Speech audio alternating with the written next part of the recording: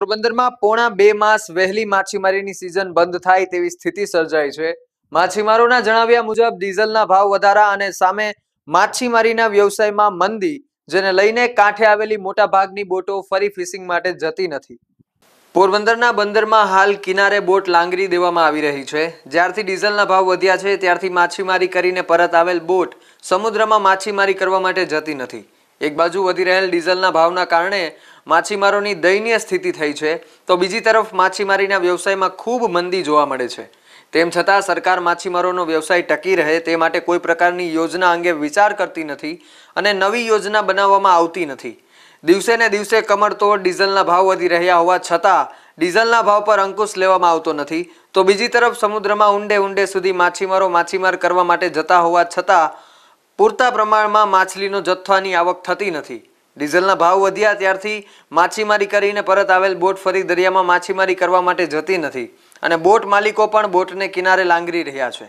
આમ તો સરકારના નિયમ મુજબ દસ જૂને માછીમારીની સિઝન બંધ થતી હોય છે અને તે સમય દરમિયાન બોટ માલિકો તેમની બોટને કિનારે લાંગરી દેતા હોય છે. પરંતુ હાલ ડીઝલના કમરતોડ ભાવ વધારાને કારણે અને માછલીના જથ્થાના પૂરતા પ્રમાણમાં આવક ન થતી હોવાને લીધે દસ જૂન પહેલાં જ માછીમારીની સિઝન બંધ થાય તેવી સ્થિતિ સર્જાય છે. અને હાલ બોટના બંદરમાં ખડકલા લાગવા લાગ્યા છે. વ્યવસાયથી પોરબંદરમાં માત્ર પોરબંદરવાસીઓ જ નહીં, પરંતુ અન્ય રાજ્યના લોકોને પણ રોજગારી મળી રહે છે. માછીમારીના ઉદ્યોગને કોઈની માઠી નજર લાગી હોય તેમાં ઉદ્યોગ મૃતપાય બની રહ્યો છે. ભૂમિ ગોહેલ સાથે અશોક થાનકી, ગુજરાત ન્યૂઝ, પોરબંદર.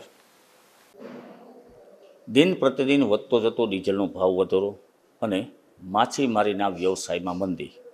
જાણે માછીમાર સમાજને કમર તોડમાર આપ્યો હોય તે પ્રકારની સ્થિતિનું નિર્માણ થયું છે.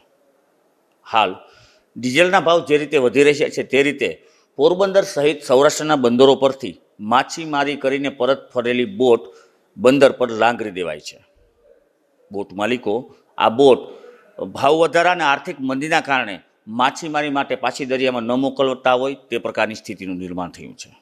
જેને લઈને માછીમારીનું વેકેશન સમય પહેલાં જ આવી ગયું હોય તેવું લાગી રહ્યું છે. સામાન્ય રીતે સરકારી નિયમ પ્રમાણે દસ જૂનથી માછીમારોનું વેકેશન પડતું હોય છે. પરંતુ હાલ પોરબંદર સહિત સૌરાષ્ટ્રના બંદરો પર જે રીતે બોટો લાંગરી દેવામાં આવી છે તે પ્રકારે સિઝન પહેલાં જ વેકેશન આવી ગયું હોય તે પ્રકારની સ્થિતિનું નિર્માણ થયું છે. દરિયામાં દૂર દૂર સુધી માછલીનો પૂરતો જથ્થો માછીમારોને મળતો નથી. તો બીજી તરફ ડીઝલના ભાવમાં પણ દિન પ્રતિદિન વધારો થઈ રહ્યો છે. તેની સામે સરકારી કોઈપણ પ્રકારની સહાય માછીમારોને ન મળતી માછીમારો આક્ષેપ કરી રહ્યા છે. જેના કારણે માછીમારીના વ્યવસાય સાથે જોડાયેલા તમામ લોકો હાલ આર્થિક સંકટનો સામનો કરી રહ્યા છે. ભૌમિક ગોહેલ સાથે અશોક થાનકી, ગુજરાત ન્યૂઝ પોરબંદર.